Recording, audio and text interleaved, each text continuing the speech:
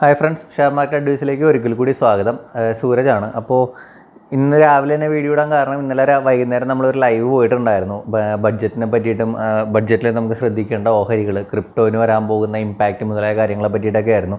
പക്ഷേ ആക്സിഡന്റലി ആ video upload ചെയ്തതിന് ശേഷം ഡിലീറ്റ് ആയിപ്പോയി. അപ്പോൾ ആ ഇൻഫർമേഷൻസൊക്കെ ഇമ്പോർട്ടന്റ് ആയതുകൊണ്ട് തന്നെ മിസ് ചെയ്യാൻ പാടില്ല എന്ന് തോന്നി. അതുകൊണ്ടാണ് രാവിലെ തന്നെ വീണ്ടും റെക്കോർഡ് ചെയ്തിട്ട് ആ വീഡിയോ ഞാൻ അപ്ലോഡ് ചെയ്യുന്നത്.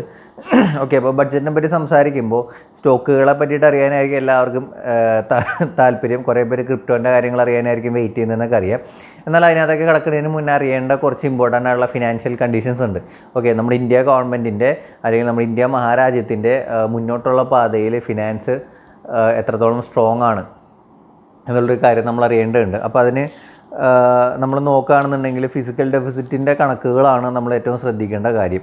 അതിൽ തന്നെ രണ്ടാ രണ്ടായിരത്തി ഇരുപത്തിരണ്ടിൽ ഇയർ എൻഡിങ്ങിൽ അവർ ജി ഡി പിയുടെ ആറ് പോയിന്റ് എട്ട് പെർസെന്റേജ് ഡെഫിസിറ്റാണ് എക്സ്പെക്റ്റ് ചെയ്തിരുന്നത്. പക്ഷേ അത് ആറ് പോയിന്റ് ഒൻപത് പെർസെന്റേജ് തന്നെ പിടിച്ചു നിർത്താൻ സാധിച്ചിട്ടുണ്ട്. അപ്പോൾ ഇത്രയും കൊറോണയുടെ ഇമ്പാക്റ്റും കാര്യങ്ങളൊക്കെ വന്നിട്ടും just one point zero one percentage sorry point one percentage മാത്രമാണ് എക്സ്പെക്റ്റ് ചെയ്തതിന് കൂടുതൽ വന്നതെന്നുള്ളത് വളരെ പോസിറ്റീവായിട്ടുള്ളൊരു കാര്യം തന്നെയാണ്. അതുപോലെ തന്നെ G D P G D P വെച്ചിട്ടുള്ള ഫിസിക്കൽ ഡെഫിസിറ്റിന്റെ ഫോർകാസ്റ്റ് നമ്മൾ സ്റ്റഡി ചെയ്യുമ്പോൾ രണ്ടായിരത്തി ഇരുപത്തിരണ്ട് ഇരുപത്തി മൂന്നിൽ six point four percentage of G D G D P ആണ് ഇന്ത്യ ഗവൺമെന്റ് എക്സ്പെക്റ്റ് ചെയ്യുന്നത്. അത് തന്നെ രണ്ടായിരത്തി ഇരുപത്തഞ്ച് ഇരുപത്തി ആറിലേക്ക് വരുമ്പോഴത്തേക്കും ഈ ഗവൺമെന്റ് ഇറങ്ങാറാകുമ്പോഴത്തേക്കും അവരത് ഫോർ പോയിന്റ് ഫൈവ് പെർസെന്റേജിലേക്ക് കുറച്ച് നിർത്താമെന്ന് കൂടി ആ, പ്രതീക്ഷ വെച്ചിട്ടുള്ള ബഡ്ജറ്റാണ് പ്രസന്റ് ചെയ്തത്.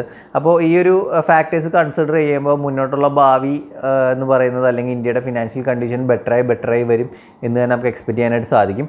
അത് തന്നെ കൂടുതൽ പുറത്തുള്ള ഫണ്ടുകാരെയൊക്കെ അല്ലെങ്കിൽ എഫ് ഐ എസ് എന്ന് പറയുന്നവരെയൊക്കെ ഇന്ത്യ ഇന്ത്യൻ മാർക്കറ്റിലേക്ക് ആകർഷിക്കാനുള്ള ഒരു കാരണമായിട്ടും വരാനുള്ള സാധ്യതയുണ്ട്. പിന്നെ നമ്മൾ ശ്രദ്ധിക്കേണ്ട ഒരു കാര്യം എന്ന് പറയുന്നത് നമ്മുടെ ഇന്ത്യ ഗവൺമെന്റ് ഓരോ സ്റ്റേറ്റിനും ഒരു ലക്ഷം കോടി രൂപ ഇൻട്രസ്റ്റ് ഫ്രീ ആയിട്ട് കടം കൊടുക്കാൻ പോകുന്നു എന്നുള്ളതാണ്. അതിന്റെ തിരിച്ചടവ് അമ്പത് വർഷമാണ്. ഓക്കെ അപ്പോൾ ഈ ഒരു ലക്ഷം കോടി രൂപ നമ്മുടെ ലോക്കൽ സ്റ്റേറ്റ് ഗവൺമെന്റുകൾക്ക് അതായത് സ്റ്റേറ്റുകളിലെ ഇൻഫ്രാസ്ട്രക്ചർ ഡെവലപ്മെന്റ്സിനും കാര്യങ്ങൾക്കും വേണ്ടിയിട്ട് ഉപയോഗിക്കാം. അത് ഇൻട്രസ്റ്റ് ഇല്ലാതെ നൽകാൻ പോകുന്നു എന്നുള്ളതും വളരെ ഒരു ഹോപ്പ്ഫുൾ ആയിട്ടുള്ള ന്യൂസ് തന്നെയാണ്. അപ്പോൾ ഇനി നമുക്ക് ഷെയർ വൈസ് അല്ലെങ്കിൽ ഓരോ സെഗ്മെന്റ് വൈസ് ഒന്ന് ആദ്യം തന്നെ ചെക്ക് ചെയ്യാം. ഫസ്റ്റ് തന്നെ നമ്മൾ ടാക്സേഷനെ പറ്റിയിട്ടാണ് സംസാരിക്കാൻ പോകുന്നത്. ടാക്സേഷനെ പറ്റിയിട്ട് ഏറ്റവും ഇമ്പോർട്ടന്റ് ആയിട്ടുള്ള മൂന്ന് നാല് കാര്യങ്ങളാണ് ബഡ്ജറ്റിൽ ഉണ്ടായിരുന്നത്. ഫസ്റ്റ് വൺ അവർ ഡയമണ്ടിന്റെ കസ്റ്റംസ് ഡ്യൂട്ടി അഞ്ച് ശതമാനം കുറച്ചു എന്നുള്ളതാണ്. അപ്പോൾ ഈ അഞ്ച് ശതമാനം കസ്റ്റംസ് ഡ്യൂട്ടി കുറയ്ക്കുന്നതുകൊണ്ട് തന്നെ നമ്മുടെ ടൈറ്റണും രാജേഷ് എക്സ്പോർട്സിനും ഇത് ഗുണം ചെയ്യും. ടൈറ്റണ് വേറെ ഒത്തിരി പരിപാടികൾ ഉണ്ടെന്നുണ്ടെങ്കിലും അവരുടെ ഒരു സെഗ്മെന്റ് തന്നെയാണ് ഡയമണ്ട് എക്സ്പോർട്ട് ഇമ്പോർട്ട് അപ്പോൾ ഈ ഒരു ഫൈവ് പെർസെന്റേജ് റിഡക്ഷൻ ടൈറ്റന്റെയും അതുപോലെ തന്നെ രാജേഷ് എക്സ്പോർട്സ് എന്ന് പറഞ്ഞാൽ ജ്വല്ലറി എക്സ്പോർട്ട് ഇമ്പോർട്ട് ചെയ്യുന്ന ഫേമാണ് ഇവർക്ക് രണ്ടുപേർക്ക് ഇത് ഗുണം ചെയ്യുന്നുള്ളതാണ്. രണ്ടാമത്തത് ചില സ്പെഷ്യൽ കെമിക്കൽസിന്റെ ഇമ്പോർട്ട് ഡ്യൂട്ടി കുറച്ചു എന്നുള്ളതാണ്. അപ്പോൾ നമ്മുടെ സ്പെഷ്യൽ കെമിക്കൽ പ്രൊഡക്ഷൻ കമ്പനികൾക്ക് അതൊരു പോസിറ്റീവായിട്ടുള്ളൊരു ട്രിഗർ തന്നെയാണ്. അതുകൊണ്ടായിരിക്കണം ഇന്നലെ നമ്മുടെ ലക്ഷ്മി ഓർഗാനിക്സ് ലെക്സ്കെം എന്നാണ് സിമ്പിൾ ലക്ഷ്മി ഓർഗാനിക്സ് ഡീറ്റെയിൽ ആയിട്ടുള്ള വീഡിയോ ഞാൻ ചെയ്തിട്ടുണ്ട്. ആ, ആ വീഡിയോന്റെ ലിങ്ക് ഇവിടെ മുകളിൽ കൊടുത്തേക്കാം. കാണാത്തവർ കാണാം. കാരണം ഇപ്പോഴും ആഡ് ചെയ്യാൻ പറ്റിയ ഒരു സ്റ്റേജിലാണ് അപ്പോൾ ഈ സ്പെഷ്യാലിറ്റി കെമിക്കൽ സെക്ടറിനെ പറ്റി സംസാരിക്കുമ്പോൾ വിദേശ രാജ്യങ്ങൾ അല്ലെങ്കിൽ ഡെവലപ്ഡ് കൺട്രീസൊക്കെ പുതിയ സ്പെഷ്യാലിറ്റി കെമിക്കൽ പ്ലാന്റുകൾ കാര്യങ്ങളൊന്നും തുടങ്ങാനായിട്ട് പ്രൊമോട്ട് ചെയ്യുന്നില്ല. പക്ഷേ നമ്മുടെ ഇന്ത്യ ഗവൺമെന്റിലും പുതിയ പ്ലാന്റുകൾ അവർ തുടങ്ങാൻ സമ്മതിക്കുന്നില്ലെങ്കിലും എക്സിസ്റ്റിംഗ് ആയിട്ടുള്ള കമ്പനികളെ ഡെവലപ്പ് ചെയ്യാനായിട്ട് അവർക്ക് ആഗ്രഹമുണ്ട്. ഡെവലപ്പ് ചെയ്യാനായിട്ട് അവർ സമ്മ സമ്മതിക്കുന്നുണ്ട്. അപ്പോൾ ഇന്ത്യ ഒരു സ്പെഷ്യാലിറ്റി കെമിക്കൽസിന്റെ ഒരു ഹബ്ബായിട്ട് മാറുക എന്നുള്ളത് വളരെ ഉറപ്പുള്ളൊരു കാര്യം തന്നെയാണ്. ഇപ്പം ഇന്നലെ ലെക്സ്കമ്മിന്റെ റിസൾട്ട് വന്നപ്പോൾ എന്തോ നയന്റി പെർസെന്റേജ് എന്തോ ആണ് കൂടിയിരിക്കുന്നത്. എനിക്ക് കൂടുതൽ സ്റ്റഡി ചെയ്യാൻ പറ്റിയിട്ടില്ല. അതിനെപ്പറ്റി സ്റ്റഡി ചെയ്തൊരു വീഡിയോ ഇടുന്നുണ്ട്. അപ്പോൾ അതുകൊണ്ട് ലെക്സ് കെമ്മ് നമ്മൾ ഇനിയും ഫോക്കസ് ചെയ്യണം. ഇപ്പോൾ വാങ്ങാൻ പറ്റുന്ന ആവറേജ് ചെയ്യാൻ പറ്റുന്ന ഒരു റേഞ്ചിലാണ് അപ്പോൾ ഇനിയും എൻട്രി എടുക്കാത്തവർക്ക് ലോങ് ടൈമിലേക്ക് ഇപ്പോൾ എൻട്രി എടുക്കാനായിട്ട് സാധിക്കുന്നതാണ്. പിന്നെ ശ്രദ്ധിക്കേണ്ട ഒരു കാര്യം ടാക്സിൽ വന്നിരിക്കുന്നത്. അൺബ്ലെൻഡഡ് ഫ്യൂവലിന്റെ ടാക്സ് കൂട്ടി എന്നുള്ളതാണ്. ഏകദേശം ഒരു ലിറ്ററിന് രണ്ട് രൂപ വെച്ചിട്ടാണ് അവർ ഇൻക്രിമെന്റ് ചെയ്തിരിക്കുന്നത്. ഈ അൺബ്ലെൻഡഡ് ഫ്യൂവൽ എന്ന് പറഞ്ഞു കഴിഞ്ഞാൽ എഥനോൾ ചേർക്കാത്ത ഡീസലും പെട്രോളുകളുമാണ്. ഇപ്പോൾ അറിയാം മിക്ക കമ്പനികളും എഥനോൾ മിക്സ്ഡ് ആയിട്ടുള്ള ഫ്യൂവലാണ് കൊണ്ടുവരുന്നത്. പക്ഷേ സ്റ്റിൽ ചില കമ്പനികൾ പഴയ രീതിയിൽ തന്നെ പ്യുവറായിട്ടുള്ള പെട്രോളും ഡീസലും തന്നെയാണ് ഇപ്പോഴും സെയിൽ ചെയ്തുകൊണ്ടിരിക്കുന്നത്. അപ്പോൾ അങ്ങനത്തെ കമ്പനികൾക്ക് ലിറ്ററിന് രണ്ട് രൂപ കൂടി കൂട്ടേണ്ടി വരുമ്പോൾ എന്താണ് സംഭവിക്കുക? നോർമലി നമ്മൾ അങ്ങനെ കാശ് കൂടിയ സ്ഥലത്ത് പോയിട്ട് ഡീസലും പെട്രോളും അടിക്കത്തില്ല. അപ്പോൾ അവർക്ക് കാശ് കുറയ്ക്കേണ്ടി വരും. അങ്ങനെ കുറയ്ക്കണമെന്നുണ്ടെങ്കിൽ ഗവൺമെന്റ് പറയുന്ന അളവിലേക്ക് ഇവർക്ക് എഥനോൾ ആഡ് ചെയ്യേണ്ടി വരും. അപ്പോൾ അത് പോസിറ്റീവായിട്ട് വരുന്ന ആർക്കാണ്? എഥനോൾ പ്രൊഡ്യൂസിംഗ് ഉള്ള കമ്പനികൾക്കും ഷുഗർ സെക്ടറിലെ കമ്പനികൾക്കും അതൊരു പോസിറ്റീവ് ട്രിഗറാണ് പേരെടുത്ത് പറയുകയാണെന്നുണ്ടെങ്കിൽ ബി സി എൽ ഇൻഡസ്ട്രീസിനും അതുപോലെ തന്നെ പ്രാജ് ഇൻഡസ്ട്രീസിനും ഇതിനകത്ത് നല്ലൊരു റോൾ വരാനായിട്ടുള്ള സാധ്യത കാണുന്നുണ്ട്. നെക്സ്റ്റ് സെഗ്മെന്റ് ഓക്കെ ഒരു കാര്യം കൂടി ഉണ്ട്. ടാക്സിൽ സിഗരറ്റ് പ്രോഡക്ട്സിന്റെ ഡ്യൂട്ടിയോ അല്ലെങ്കിൽ ടാക്സ് എന്തായാലും കൂട്ടുന്നതാണ് എക്സ്പെക്ട് ചെയ്തിരുന്നത്. പക്ഷേ അതിനകത്ത് വേറെ ചേഞ്ചസോ കാര്യങ്ങളൊന്നും പറഞ്ഞിട്ടില്ല. അപ്പോൾ ഐ ടി സിയും അതുപോലെ തന്നെ നമ്മുടെ V S T I T സിക്കും V S ടിക്കും നെഗറ്റീവായിട്ടുള്ള കാര്യങ്ങളൊന്നുമില്ല. പോസിറ്റീവ് തന്നെയാണ്. ഇൻവെസ്റ്റേഴ്സിന് ടെൻഷനൊന്നും ഇല്ലാണ്ട് ഇൻവെസ്റ്റ് ചെയ്യാം. ഇനി ഏറ്റവും ഇമ്പോർട്ടൻസ് ന്യൂസ് വന്നത് ഡിഫൻസ് സെക്ടറിലാണ് ഡിഫൻസ് സെക്ടറിനെ സംബന്ധിച്ചോളം ഡിഫൻസിന് ആവശ്യമായിട്ടുള്ള ഇമ്പോർട്ട്സ് കുറയ്ക്കുമെന്ന് പറയുന്നുണ്ട്. അതുപോലെ തന്നെ ബഡ്ജറ്റിന്റെ ഒരു അമ്പത്താറ് ശതമാനത്തോളം ഡിഫൻസ് സെക്ടറിന്റെ ഡെവലപ്മെന്റിന് വേണ്ടിയിട്ടാണ് ഗവൺമെന്റ് മാറ്റിവെക്കാനായിട്ട് പ്ലാൻ ചെയ്തിരിക്കുന്നത്. ഇത് ഗുണം ചെയ്യാൻ പോകുന്നത് നമ്മുടെ B D L B H M L B E L മുതലായ ഇന്ത്യൻ അല്ലെങ്കിൽ പി എസ് യുസിന് നല്ല രീതിയിൽ ഗുണം ചെയ്യും. അതോ അതോടൊപ്പം തന്നെ പരാസ് എന്ന് പറഞ്ഞൊരു കമ്പനി ഉണ്ടായിരുന്നു. ഡിഫൻസിന്റെ നാവിഗേഷൻ കാര്യങ്ങളാണ്. അപ്പോൾ ആ കമ്പനിക്ക് പോസിറ്റീവാണ് പിന്നെ കഴിഞ്ഞ ദിവസം അവൻ ആ പൊറിഞ്ചു വെളിയത്ത് വാങ്ങിയ ഈ ഈ തീർന്ന പാദത്തിൽ വാങ്ങിയ കുറച്ച് ഓരികളുടെ വീഡിയോ ചെയ്തിട്ടുണ്ടായിരുന്നു. അതിനകത്ത് നമ്മൾ പ്രതിപാദിച്ച ഒരു സ്റ്റോക്ക് ഉണ്ട് തനേജ എയറോസ്പേസ് ലിമിറ്റഡ് ബാക്കി കമ്പനികളൊക്കെ ഫണ്ടമെന്റലിയും ടെക്നിക്കലിയും മോശമായിരുന്നെങ്കിലും തനേജയിൽ നമുക്ക് ലോങ് ടൈമിലേക്ക് ചെറിയൊരു എൻട്രി എടുക്കാമെന്ന് ഞാൻ പറഞ്ഞിട്ടുണ്ടായിരുന്നു. അപ്പോൾ പൊറിഞ്ഞു വാങ്ങിയ ഷെയറൊക്കെ നഷ്ടത്തിലാണ് അദ്ദേഹം കുറേ പേരെ കാശ് കളഞ്ഞു എന്നൊക്കെ കുറേ നെഗറ്റീവ് കമന്റുകൾ കണ്ടു. ഓക്കെ ആയിരിക്കാം. അദ്ദേഹം കുറേ വാങ്ങിച്ച ഷെയറുകളൊക്കെ സീറോ ആയിട്ടുണ്ടാകാം. അല്ലെങ്കിൽ അൺലിസ്റ്റ് ചെയ്തിട്ടുണ്ടാകാം. ഇൻവെസ്റ്റേഴ്സിന്റെ കാശ് പോയിട്ടുണ്ടാകാം. പക്ഷേ നമ്മൾ കണ്ണും പൂട്ടി വാങ്ങിക്കാതിരുന്ന് കഴിഞ്ഞാൽ ഈ പറയുന്ന സംഭവങ്ങളൊന്നും ഉണ്ടാവത്തില്ല. ഓക്കെ അദ്ദേഹം ഒരു പത്ത് ഷെയർ വാങ്ങിച്ചു. നമ്മൾ സ്റ്റഡി ചെയ്തിട്ട് നമുക്ക് കൊള്ളാവുന്ന ഷെയറിന് തോന്നിക്കഴിഞ്ഞാൽ നമുക്ക് വാങ്ങിക്കാം. നമ്മുടെ മനസ്സിനെ അല്ലെങ്കിൽ നമ്മുടെ ടെക്നിക്കൽ നോളേജിനെ നമ്മുടെ ഫണ്ടമെന്റൽ നോളേജിനെ തൃപ്തിപ്പെടുത്തുന്ന ഷെയർ ഉണ്ടെങ്കിൽ നമുക്ക് നിർബന്ധമായിട്ടും വാങ്ങിക്കാം. ഒരു കുഴപ്പമില്ല. തനേജ എയറോസ്പേസ് അങ്ങനത്തെ ഒരു കമ്പനിയാണ്. ഇപ്പോൾ ഈ ഡിഫൻസിൽ വരാൻ പോകുന്ന ഒരു ബൂമും നമ്മുടെ തനേജ എയറോസ്പേസിന് പോസിറ്റീവ് തന്നെയായിരിക്കും. മറ്റൊരു സെക്ടർ ട്രാൻസ്പോർട്ടേഷൻ സെക്ടറാണ് ട്രാൻസ്പോർട്ടേഷൻ സെക്ടറിൽ രണ്ട് മൂന്ന് അനൗൺസ്മെന്റ് ഉണ്ടായിരുന്നു. ഒന്ന് പുതിയ നാനൂറ് വന്ദേ ഭാരത് ട്രെയിനുകൾ വരുന്നു. എനർജി എഫിഷ്യന്റ് ആയിട്ടുള്ള ട്രെയിനുകളാണ് ഈ നാനൂറെണ്ണം അതിന് രണ്ട് മൂന്ന് കൊല്ലത്തിനുള്ളിൽ ഇവർ പ്രൊഡ്യൂസ് ചെയ്യാനാണ് തീരുമാനിക്കുന്നത്.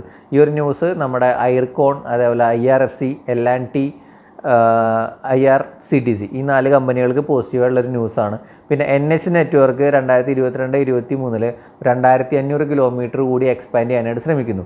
ദിലീപ് ബിൽഡിംഗ് ആൻഡ് കൺസ്ട്രക്ഷൻസ് അതുപോലെ തന്നെ അശോക ബിൽകോൺ എന്ന് പറയുന്ന രണ്ട് കമ്പനികൾക്ക് ഇത് പോസിറ്റീവായിട്ടുള്ളൊരു ന്യൂസാണ് പിന്നെ ഇ വി സെഗ്മെന്റിനെ പറ്റിയിട്ട് ഒരു ഇമ്പോർട്ടന്റ് ആയിട്ടുള്ള ന്യൂസ് ഉണ്ടായിരുന്നു. നമ്മൾ കുറേ കാര്യങ്ങളൊക്കെ ഇ വിക്ക് വേണ്ടി പ്രതീക്ഷിച്ചു.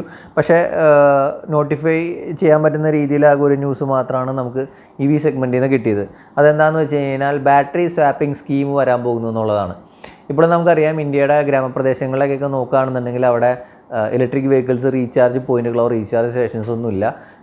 ഇപ്പോൾ നമ്മുടെ കേരളത്തിലൊക്കെ കുറേ സ്ഥലങ്ങളൊക്കെ നമുക്ക് നമുക്കിപ്പോൾ റീചാർജ് സ്റ്റേഷനൊക്കെ കാണാൻ പറ്റും. പക്ഷേ കേരളത്തിന് പുറത്തേക്ക് പോയി കഴിഞ്ഞാൽ ഈ റീചാർജ് സ്റ്റേഷൻസിന്റെയൊക്കെ എണ്ണം വളരെ കുറവാണ്. അപ്പോൾ അതിനൊരു സൊല്യൂഷൻ എന്നുള്ള രീതിയിലാണ് ഈ ബാറ്ററി സ്വാപ്പിംഗ് സ്കീം കൊണ്ടുവരാൻ പോകുന്നത്. അപ്പോൾ ഈ ബാറ്ററി സ്വാപ്പിംഗ് സ്കീം ഡയറക്റ്റായിട്ട് ബാറ്ററി കമ്പനികളെയാണ് പോസിറ്റീവായിട്ട് ബാധിക്കുക എന്നുണ്ടെങ്കിലും എന്താണ് സംഭവിക്കാൻ പോകുന്നത്? ഗ്രാമപ്രദേശങ്ങളിലൊക്കെ ഒരു ബാ ഇലക്ട്രിക് വണ്ടി ഞാൻ വാങ്ങിച്ചു കഴിഞ്ഞാൽ എനിക്ക് ഈസി ആയിട്ട് ബാറ്ററി ചാർജ് തീർന്നു. അപ്പോൾ തന്നെ ഞാൻ ബാറ്ററി അവൈലബിൾ ഉള്ള സ്ഥലത്ത് നിന്നു. നേരെ ഈ ബാറ്ററി ചെറിയൊരു എമൗണ്ടിന് നമുക്ക് സ്വാപ്പ് ചെയ്ത് കിട്ടുന്നു. അപ്പോൾ അങ്ങനെ ബാറ്ററി ചേഞ്ച് ചെയ്ത് ഉപയോഗിക്കാം എന്നുള്ളൊരു സ്കീമിലേക്ക് വന്നു കഴിഞ്ഞ് കഴിഞ്ഞാൽ അത് ഇലക്ട്രിക് ടു വീലേഴ്സിന്റെ സെയിൽ പെട്ടെന്ന് തന്നെ കൂട്ടാനായിട്ട് സാധ്യതയുണ്ട്. അപ്പോൾ നമ്മൾ ശ്രദ്ധിക്കേണ്ട കമ്പനിയാണ് നമ്മുടെ വാർഡ് വിസാർഡ്. അതുപോലെ തന്നെ നമ്മൾ മൂന്ന് ഇലക്ട്രിക് കമ്പനികളോട് ഇപ്പോൾ ഹോൾഡ് ചെയ്യുന്നുണ്ട്. Gabriel Sona Comstar Fiem electricals sorry Fiem industries അപ്പോൾ ഇതിനകത്ത് ഗബ്രിയലിൽ ഒരു ഫാസിനേഷൻ കാണാനില്ല. അപ്പോൾ ഞാൻ സ്റ്റഡി ചെയ്തുകൊണ്ടിരിക്കുകയാണ്. എക്സിറ്റ് ചെയ്യേണ്ട കണ്ടീഷനിൽ ഞാൻ എക്സിറ്റ് ചെയ്യാൻ പറയും. പക്ഷേ സോന കോംസ്റ്റാർ ഇപ്പോഴും ഞാൻ നല്ല പോസിറ്റീവാണ് മേ ബി ഈ ഈ കൊല്ലം തന്നെ ഒരു തൗസൻഡ് അല്ലെങ്കിൽ തൗസൻഡ് ഫൈവ് ഹൺഡ്രഡിന് മുകളിലേക്കൊക്കെ ട്രേഡ് ചെയ്തേക്കാം. അപ്പോൾ സോനയ്ക്ക് പോസിറ്റീവാണ് ദെൻ ബാറ്ററി കമ്പനികളെ സംബന്ധിച്ചോളം നമ്മുടെ എച്ച് ബി എൽ സിസ്റ്റംസ് ഹിമ എച്ച് എസ് സി എൽ അതുപോലെ എക്സൈഡ് അമർരാജ മുതലായ കമ്പനികൾക്കൊക്കെ പോസിറ്റീവാണ് ദെൻ റിലയൻസ് റിലയൻസിന്റെ ബാറ്ററി എല്ലാം വരാൻ പോകുന്നുണ്ട്. അപ്പോൾ റിലയൻസിനും ഇതൊരു പോസിറ്റീവായിട്ടുള്ളൊരു ഘടകം തന്നെയാണ്. ഇനി അഗ്രികൾച്ചറൽ ഫീൽഡാണ് നമുക്ക് നോക്കാനുള്ളത്. അഗ്രികൾച്ചറൽ ഫീൽഡിനെ പറ്റി പറയുമ്പോൾ ഒത്തിരി പ്രഖ്യാപനങ്ങൾ വരും എന്ന് പ്രതീക്ഷിച്ചിരുന്ന ഒരു സെക്ടറാണ് പക്ഷേ നിർഭാഗ്യവശാൽ അത്ര വലിയ സംഭവങ്ങളൊന്നും പ്രഖ്യാപനങ്ങളൊന്നും വന്നിട്ടില്ല. മെയിൻലി അഗ്രികൾച്ചർ ഫീൽഡിൽ രണ്ട് കാര്യങ്ങളാണ് വന്നത്. ഒന്ന് സോറി രണ്ടല്ല മൂന്ന് കാര്യങ്ങൾ ഫസ്റ്റത്തെ വണ്ണ് ഡ്രോൺസ് ഉപയോഗിച്ചിട്ടുള്ള അഗ്രികൾച്ചറൽ ആക്ടിവിറ്റീസിനെ കൂടുതൽ പ്രൊമോട്ട് ചെയ്യും. അപ്പോൾ ഡ്രോൺസ് ഉണ്ടാക്കുന്ന സ്റ്റാർട്ടപ്പ് കമ്പനികളിലേക്ക് ഗവൺമെന്റ് ഹെൽപ്പ് ചെയ്യുന്നുള്ളൊരു ന്യൂസ് ബഡ്ജറ്റിൽ നമുക്ക് അറിയാൻ സാധിച്ചു. പിന്നെ ഓയിൽ സീഡ് ഇമ്പോർട്ട് കുറയ്ക്കാൻ പോകുന്നു എന്നുള്ളതാണ് അടുത്തൊരു ഇമ്പോർട്ടന്റ് ആയിട്ടുള്ള കാര്യം വന്നത്. അപ്പോൾ നമ്മുടെ ഇന്ത്യ രാജ്യത്തെ സീഡ് പ്രൊഡക്ഷൻ കമ്പനികൾക്ക് അതൊരു പോസിറ്റീവ് ന്യൂസാണ് പിന്നെ ചെറിയ ചെറിയ ഗ്രാമങ്ങളിലെ ഫാർമേഴ്സിനെ ഹെൽപ്പ് ചെയ്യാൻ വേണ്ടിയിട്ട് അവിടെ റെയിൽവേ ഇൻഫ്രാസ്ട്രക്ചറും അതുപോലെ തന്നെ അങ്ങോട്ടൊക്കെ റെയിൽവേ ട്രാക്കുകളും കൊണ്ടുവരാനായിട്ട് ശ്രമിക്കുന്നു എന്നുള്ളതാണ്.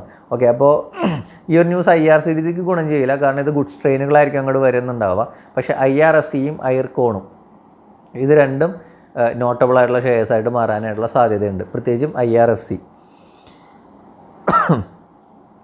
ഇനി ബാങ്കിങ് സെക്ടറിലേക്ക് വരുമ്പോൾ മെയിനായിട്ട് രണ്ട് കാര്യങ്ങളാണ് ഉള്ളത്. ഒന്ന് ഓൺലൈൻ പേയ്മെന്റ് സ്കീമുകൾ അതുപോലെ ഡിജിറ്റൽ ബാങ്കിങ് കൂടുതലായിട്ട് ഡെവലപ്പ് ചെയ്യാൻ ശ്രമിക്കും. അല്ലെങ്കിൽ അതിനെ പ്രൊമോട്ട് ചെയ്യുന്നതാണ് ബഡ്ജറ്റിൽ കണ്ടത്.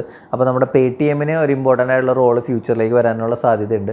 പിന്നെ എൽ ഐ സിയുടെ ഐ പി ഒ ഈ വർഷം തന്നെ ലിസ്റ്റ് ചെയ്യാനായിട്ട് ശ്രമിച്ചുകൊണ്ടിരിക്കുകയാണ്. ഈ വർഷം തന്നെ ലിസ്റ്റിംഗ് ഉണ്ടാവുന്ന കൂടി ബഡ്ജറ്റിൽ നോട്ടബിൾ ആയിട്ട് പറഞ്ഞൊരു പോയിന്റാണ് then digital currency R B ഐയുടെ ഇന്ത്യൻ റുപ്പീസ് ആയിട്ടുള്ള ഡിജിറ്റൽ കറൻസി രണ്ടായിരത്തി ഇരുപത്തിരണ്ട് ഇരുപത്തി മൂന്നിൽ കൊണ്ടുവരുമെന്നും നമ്മുടെ യൂണിയൻ ബഡ്ജറ്റിൽ ഉൾപ്പെടുത്തിയിട്ടുണ്ട്.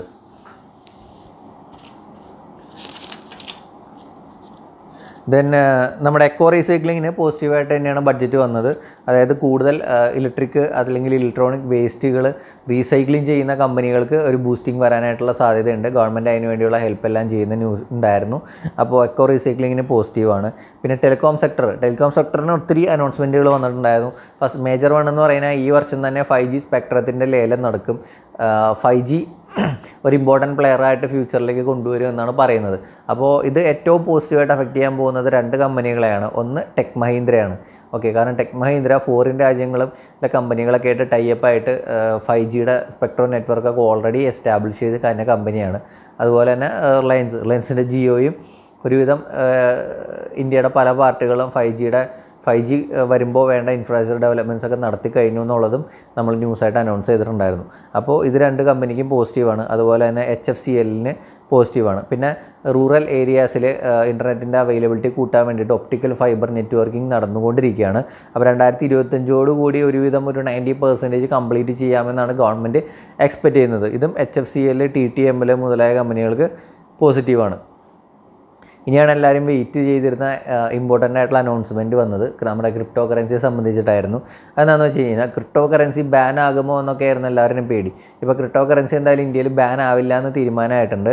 കാരണം digital rupees using blockchain technology to be launched in two thousand twenty three by R B I എന്നാണ് ബഡ്ജറ്റിൽ നമ്മുടെ എഫ് എം പറഞ്ഞത്. അതായത് ഇന്ത്യൻ റുപ്പീസ് ഡിജിറ്റൽ കറൻസി ആയിട്ട് വരാൻ പോകുന്നു. അത് ബ്ലോക്ക് ചെയിൻ ടെക്നോളജി ആയിരിക്കും യൂസ് ചെയ്യുന്നുണ്ടാവുക അതായത് നമ്മുടെ ബിറ്റ് ഒക്കെ പോലെ നമ്മുടെ ഇന്ത്യൻ റുപ്പീസിന് അവൈലബിൾ ആയിരിക്കും എന്നാണ് പറയുന്നത്. അതുപോലെ തന്നെ മുപ്പത് ശതമാനം ടാക്സ് ഇൻട്രൊഡ്യൂസ് ചെയ്തു എന്നുള്ളത് നമുക്ക് എല്ലാവർക്കും വിഷമം ആകുന്നൊരു ന്യൂസാണ് പക്ഷേ ബാക്കി കാര്യങ്ങൾ നോക്കുമ്പോൾ ലോങ് ടൈം ഇൻവെസ്റ്റേഴ്സിന് ഇതൊരു പോസിറ്റീവായിട്ടും ഷോർട്ട് ടൈം ട്രേഡേഴ്സിന് ഇതൊരു നെഗറ്റീവായിട്ടാണ് എനിക്ക് ഫീൽ ചെയ്തത്. കാരണം ഈ ടാക്സ് വെച്ച് കൺട്രോൾ ചെയ്യുമ്പോൾ ഒരിക്കലും ഇത് നിർത്തിപ്പോവില്ല. അല്ലെങ്കിൽ ഒരിക്കലും ഇതിനകത്ത് ഇതിൽ നിക്ഷേപിക്കുന്ന പണം നഷ്ടപ്പെടില്ല. അല്ലെങ്കിൽ ഇന്ത്യ ഗവൺമെന്റ് ഇത് ബാൻ ചെയ്യില്ല എന്ന് നമുക്ക് മനസ്സിലാക്കാൻ സാധിക്കും. അപ്പോൾ ലോങ് ടൈം ഇൻവെസ്റ്റേഴ്സിന് എന്താ ചെയ്യാൻ പറ്റുക? ചെറിയ രീതിയിൽ ഇൻവെസ്റ്റ് ചെയ്ത് നിൽക്കാം. നല്ല ഒരു എമൗണ്ട് പ്രോഫിറ്റ് ഒക്കെ ആകുമ്പോൾ വിഡ്രോ ചെയ്യാം. ആ ടാക്സ് കൊടുക്കണമെന്നുള്ളൂ വേറെ ബുദ്ധിമുട്ടൊന്നും ഒന്നുമില്ല. പക്ഷേ ഷോർട്ട് ടൈം ചെയ്യുന്ന ട്രേഡേഴ്സിനെ സംബന്ധിച്ചോളം ലോസസ് സെറ്റ് ഓഫ് ചെയ്യാൻ പറ്റില്ല എന്നുള്ളൊരു അനൗൺസ്മെന്റ് വന്നിട്ടുണ്ടായിരുന്നു. അത് കുറച്ച് മോശമാണ്. അതെന്താണെന്ന് ക്ലിയർ ആയിട്ട് എക്സ്പ്ലെയിൻ ചെയ്ത് തരാണെന്നുണ്ടെങ്കിൽ ഇപ്പോൾ ഷെയർ മാർക്കറ്റിനെ സംബന്ധിച്ച് നമുക്ക് ഈ കൊല്ലം ഒരു ലക്ഷം രൂപ പ്രോഫിറ്റ് ഉണ്ടായി. നമ്മൾ അതിന്റെ ടാക്സ് അടച്ചു. അടുത്ത കൊല്ലം നമ്മൾ നോക്കുമ്പോൾ നെറ്റ് നമുക്കൊരു അമ്പതിനായിരം ആണ് ലോസ് എങ്കിൽ നമുക്ക് ഈ അമ്പതിനായിരം രൂപ ലോസ് റിപ്പോർട്ട് ചെയ്യാം. മൂന്നാമത്തെ കൊല്ലം നമുക്കൊരു ഇരുപത്തയ്യായിരം രൂപയാണ് പ്രോഫിറ്റ് എന്നുണ്ടെങ്കിലും ഈ അമ്പതിനായിരം രൂപ ലോസ് വന്നതിനകത്ത് നിന്ന് ഒരു പേഴ്സന്റേജ് നമുക്ക് കുറച്ചിട്ട് ടാക്സ് അടിച്ചാൽ മതി. പത്ത് പെർസെന്റേജ് ആണെന്ന് തോന്നുന്നു. കറക്റ്റ് എനിക്ക് ഓർമ്മയില്ല. അപ്പോൾ ഇരുപത്തയ്യായിരത്തിൽ നിന്ന് പതി say പതിനായിരം രൂപയാണ് നമുക്ക് ഒഴിവാക്കാൻ പറ്റുന്നതെങ്കിൽ ബാക്കി പതിനയ്യായിരത്തിന് ടാക്സ് അടച്ചാൽ മതി. ദെൻ അടുത്ത കൊല്ലവും ഈ പറയുന്ന അമ്പതിനായിരത്തിന്റെ ബാലൻസ് നമുക്ക് ക്യാരി ഓവർ ചെയ്ത് പോകാം. അപ്പോൾ ആ ലോസസ് നമുക്ക് സെറ്റ് ഓഫ് ചെയ്യാൻ പറ്റുമായിരുന്നു ഷെയർ മാർക്കറ്റിൽ പക്ഷേ കറൻസിയിൽ അല്ലെങ്കിൽ ഡിജിറ്റൽ അസറ്റ്സ് ആയിട്ടുള്ള N F T metaverse crypto കറൻസികൾക്ക് മുതലൊന്നും ഈ സെറ്റ് ഓഫ് ഉണ്ടാവത്തില്ല. നമുക്ക് ഒരു കൊല്ലം അവസാനം പത്ത് രൂപയാണ് പ്രോഫിറ്റ് എങ്കിൽ നമ്മൾ ആ പത്ത് രൂപയുടെ പ്രോഫിറ്റ് പ്രോഫിറ്റിന് ടാക്സ് അടക്കണം അടുത്ത കൊല്ലം നമുക്ക് ചിലപ്പോൾ ഒരു അമ്പത് രൂപ ലോസ് ആയിരിക്കും. അതിന്റെ അടുത്ത കൊല്ലം നൂറ് രൂപയാണ് പ്രോഫിറ്റ് എങ്കിൽ ആ നൂറ് രൂപയുടെ തന്നെ ടാക്സ് നമ്മൾ അടക്കണം അത് മുപ്പത് പെർസെന്റേജ് നമ്മൾ ടാക്സ് അടക്കണം പിന്നെ ടി ഡി എസ് ഇംപ്ലിമെന്റ് ചെയ്തിട്ടുണ്ട്. നമ്മൾ ക്രിപ്റ്റോ കറൻസിയിലേക്ക് നമ്മുടെ ഫണ്ട് ആഡ് ചെയ്യുമ്പോഴും അവിടെ നിന്ന് വിഡ്രോ ചെയ്യുമ്പോഴും ഒരു പെർസെന്റേജ് വെച്ചിട്ട് ടി ഡി എസ് കട്ടാവും മൊത്തം രണ്ട് പെർസെന്റേജ് ടി ഡി എസ് കട്ടാവും പിന്നീട് നമ്മളെപ്പോൾ ഫിനാൻഷ്യൽ ഇയറിന്റെ അവസാനം നമ്മൾ ഫയൽ ചെയ്യുമല്ലോ. നമ്മൾ ടാക്സ് ഫയൽ ചെയ്യുമ്പോൾ നമുക്ക് ഈ ടി ഡി എസ് ക്ലെയിം ചെയ്തെടുക്കാൻ പറ്റും. അപ്പോൾ ഇതിനകത്ത് പോസിറ്റീവായുള്ള കാര്യം ക്രിപ്റ്റോയിൽ ബാൻ വരില്ല എന്നുള്ളതാണ്. പക്ഷേ കൺട്രോൾ ചെയ്യുന്നു. അപ്പോൾ ലോങ് ടൈം ഇൻവെസ്റ്റേഴ്സിനെ സംബന്ധിച്ചിടത്തോളം പോസിറ്റീവാണ് ഇപ്പോൾ ഇൻവെസ്റ്റ് ചെയ്യാൻ പറ്റിയ സമയമാണ് മിക്ക ക്രിപ്റ്റോ കറൻസികളും വളരെ ബോട്ടം ലെവലിലാണ് ചെറിയ രീതിയിലൊക്കെ ഇൻവെസ്റ്റ് ചെയ്യാം. ഞാനും ഇൻവെസ്റ്റ് ചെയ്ത് തുടങ്ങിയിട്ടുണ്ട്. അപ്പോൾ ഇത്രയും കാര്യങ്ങളൊക്കെയാണ് ബഡ്ജറ്റിനെ പറ്റിയിട്ട് നമുക്ക് സംസാരിക്കാനുള്ളത്. അപ്പോൾ പ്രധാനമായിട്ടും ഞാൻ മനസ്സിലാക്കിയിടത്തോളം ശ്രദ്ധിക്കേണ്ട ഓഹരികൾ എന്ന് പറയുന്ന എൽ ടി അതായത് Larsen and ടൂർബോ then I R C T C I R S C അതുപോലെ തന്നെ eco recycling H C L tech Reliance ഈ ആറ് കമ്പനികളാണ് നമ്മൾ കൂടുതൽ കോൺസെൻട്രേറ്റ് ചെയ്യേണ്ടത്. ഈ ആറ് കമ്പനികൾ നമുക്ക് പൊസിഷൻ ഇല്ലെങ്കിൽ ലോങ് ടൈമിലേക്ക് കുറേശ്ശെ പൊസിഷൻസ് ആഡ് ചെയ്യേണ്ട സമയമായി എന്ന് എനിക്ക് തോന്നുന്നു. അപ്പോൾ നമ്മുടെ ഡിലീറ്റ് ആയി പോയ വീഡിയോ റിക്കവർ ചെയ്ത് തരണം എന്ന് പറഞ്ഞുകൊണ്ട് ഞാൻ യൂട്യൂബിനും ഗൂഗിളിനൊക്കെ മെയിൽ അയച്ചിട്ടുണ്ട്. അപ്പോൾ അവർ ശ്രമിക്കുക എന്ന് പറഞ്ഞിട്ടുണ്ട്. റിക്കവർ ആവുകയാണെന്നുണ്ടെങ്കിൽ ആ ലൈവ് കൂടി ഇതിന്റെ ഒപ്പം തന്നെ ഓൾറെഡി ഞാൻ അപ്ലോഡ് ചെയ്യും. അപ്പോൾ അങ്ങനെയാണെന്നുണ്ടെങ്കിൽ അതിനകത്ത് ഡൗട്ടുകൾ ചോദിച്ചൊക്കെ ക്ലിയർ ചെയ്യുന്ന കൂടി നിങ്ങൾക്ക് എക്സ്പീരിയൻസ് ചെയ്യാൻ പറ്റും. അപ്പോൾ ഇത്രയും കാര്യങ്ങളൊക്കെയാണ് ബഡ്ജറ്റിനെ പറ്റിയിട്ട് ഞാൻ മനസ്സിലാക്കിയ ഞാൻ പഠിച്ച കാര്യങ്ങൾ മേ ബി മിസ്റ്റേക്സ് ഉണ്ടാവും. കാരണം ഞാൻ ഒരിക്കലും ഒരു ഫിനാൻഷ്യൽ എക്സ്പേർട്ട് അല്ല. ഞാൻ ഷെയർ മാർക്കറ്റിനെ പറ്റി സ്റ്റഡി ചെയ്യുന്ന ഒരാളാണ്. അപ്പോൾ ചിലപ്പോൾ ഇന്റർപ്രറ്റ് ചെയ്തതിനകത്തൊക്കെ മിസ്റ്റേക്സ് ഉണ്ടാകും. ഉണ്ടെങ്കിൽ ക്ഷമിക്കുക. അടുത്തൊരു വീഡിയോ ആയിട്ട് കാണാം. അതിൽ എല്ലാവർക്കും ഹാപ്പി ഇൻവെസ്റ്റിംഗ് താങ്ക്